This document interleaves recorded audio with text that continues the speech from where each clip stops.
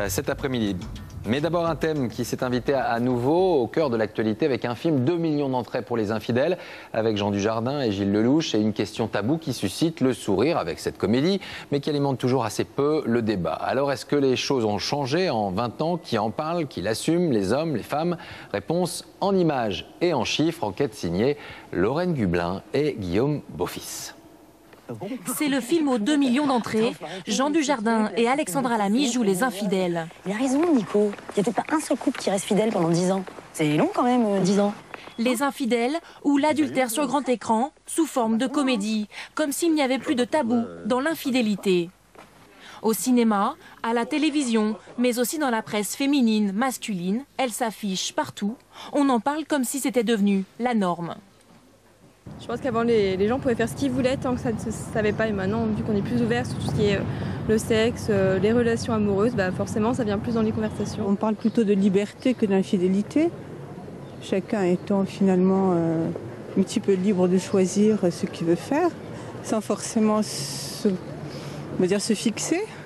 Selon un sondage réalisé en 2009, 18% des hommes déclaraient avoir déjà été infidèles et 10% des femmes. Comme Elisabeth, 40 ans, mariée depuis 15 ans, elle n'a jamais cherché à rester fidèle. Régulièrement, elle s'autorise une petite escapade avec un autre homme. C'est un moment intense que vous vous donnez et vous allez vivre quelque chose d'un petit peu exceptionnel et puis chacun reprend sa vie. Pour cette mère de deux enfants, cadre dans une petite entreprise, être infidèle, c'est rester femme, ne pas s'enfermer dans le rôle de mère ou d'épouse. C'est comme ça qu'on se sent vivant, qu'on se sent jeune, Là, vous rencontrez quelqu'un qui va être euh, étonné de ce que vous êtes, qui va porter sur vous un regard euh, gourmand. Votre conjoint, il vous regarde plus avec gourmandise au bout de 10 ans, 15 ans, 20 ans. C'est pas vrai. Et c'est pas parce que euh, sur un coup de cœur intellectuel, physique ou autre, j'ai une aventure avec un autre que je vais remettre en cause mes choix de vie. D'autant qu'avec Internet, la tentation est désormais partout. Sur ces sites, des hommes et des femmes mariés peuvent se rencontrer, chat, drague virtuelle, l'adultère en un clic.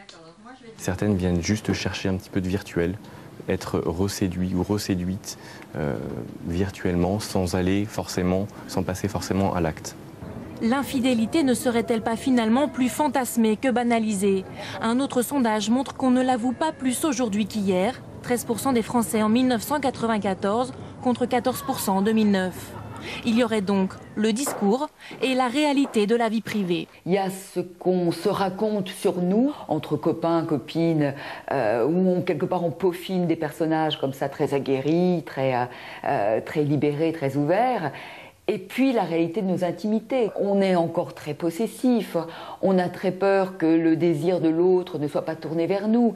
et s'il n'est pas tourné vers nous, on le vit comme une grande trahison, comme une grande blessure narcissique. La libération sexuelle n'a pas fait taire les égaux et le coup de canif dans le contrat laisse encore bien souvent des traces.